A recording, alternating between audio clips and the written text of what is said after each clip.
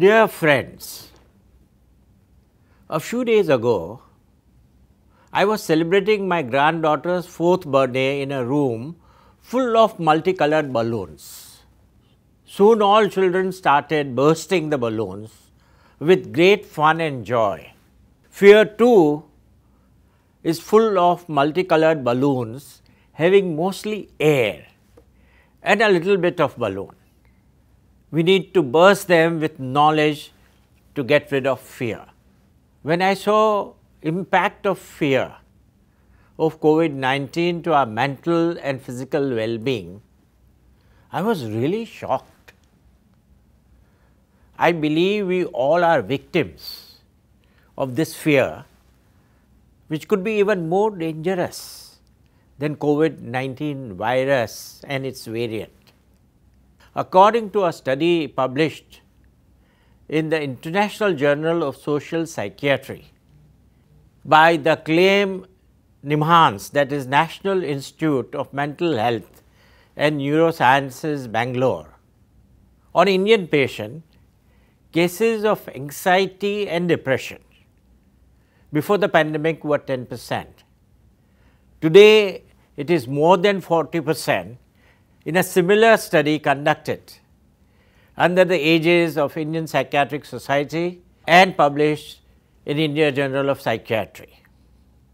And this is the reported anxiety and depression during pandemic. Poor sleep is another impact of the pandemic, which increased from nearly 35 percent pre-pandemic to 62 percent now.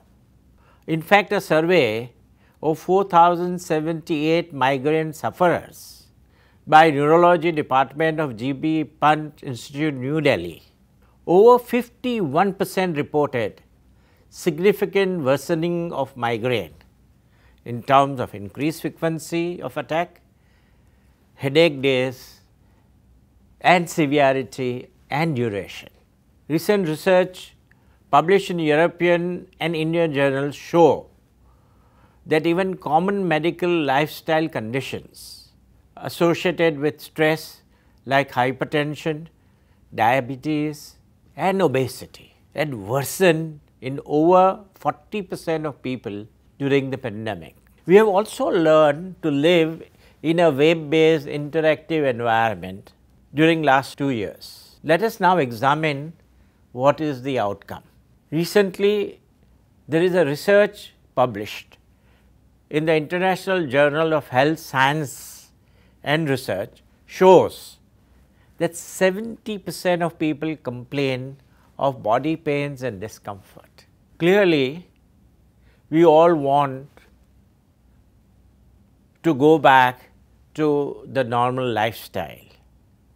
We were used to and not such a stressful life with COVID-19 situation. This can be done by us alone by becoming stress free during the pandemic. May I suggest to follow just six simple steps towards physical and emotional well-being. Remain connected with loved ones and friends you continue to relax with music, books, hobbies, sports and get enough sleep. Be physically active and adopt a healthy and balanced diet. Be positive, hopeful and optimistic. Do breathing exercise daily. And finally, seek professional help at early sign of symptoms. Finally, but most important, get vaccinated and follow up with booster doses as and when available. Accept mask as a way of life during COVID-19 pandemic. Protect yourself and people around you. Finally, live normally, socializing with caution keep your spirit always free, be happy and I am sure you will be safe.